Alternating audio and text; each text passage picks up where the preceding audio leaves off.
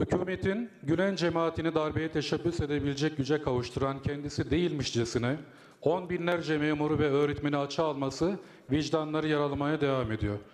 Kamunun kaynaklarını cemaate peşkeş çeken siyasetçilere, belediye başkanlarına ve üst düzey bürokratlarına dokunmak bir yana bu kişilerin en üst düzeyde korunmalarına devam ediliyor.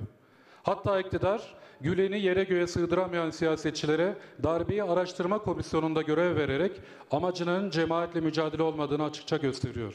Bunlar yaşanırken sendikal faaliyette bulundukları gerekçesiyle açığa alınan öğretmenlerin yaşadıkları belirsizlik halen devam ediyor. Bu ancak vicdan ve adalet duygusunun kiraya verilmiş olmasıyla açıklanabilir. İktidara bir kez daha sesleniyorum. Öğretmenlerimize yaşattığınız işkenceye bir an önce son verin. Teşekkür ederim.